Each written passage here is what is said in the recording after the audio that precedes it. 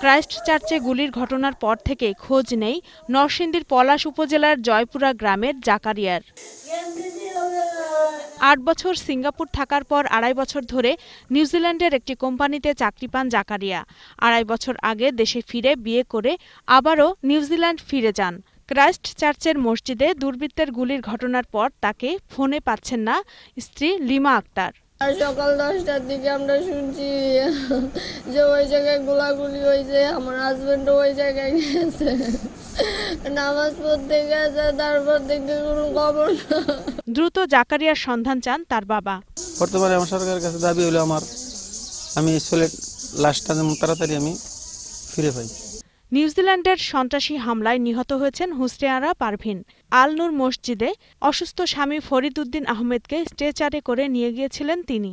গুলির শব্দ শুনে বের হন হুসনেয়ারা ঘাতকের ছোড়া গুলিতেই ঘটনাস্থলে মৃত্যু হয় তার।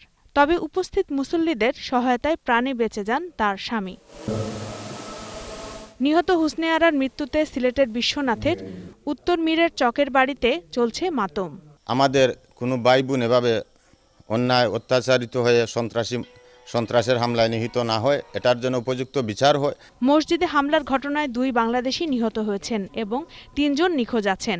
এছাড়া হাসপাতালে ভর্তি আছেন আরও পাঁচ বাংলাদেশি। রত্না জামান, একুশে টেলিভিশন।